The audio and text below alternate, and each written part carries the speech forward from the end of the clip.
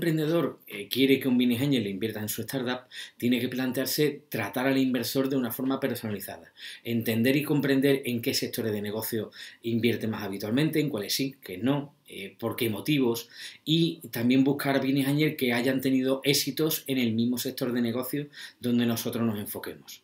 Y de cara a la pregunta, ¿cómo y con qué factores invierte Emilio Márquez como Business Angel? Pues mi primer filtro es, conozco al equipo emprendedor hace bastante tiempo, se ha creado una relación profesional de confianza, le conozco hace tiempo y sé cuáles son sus pros y contras como equipo emprendedor.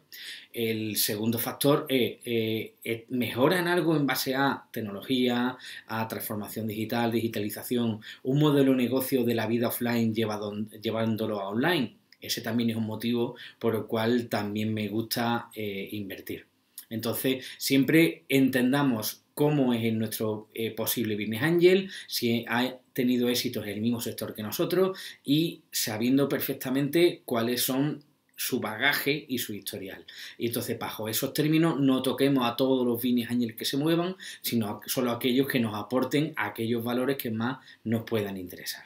Espero que eh, este vídeo os parezca interesante y nos vemos en el próximo vídeo. Saludos.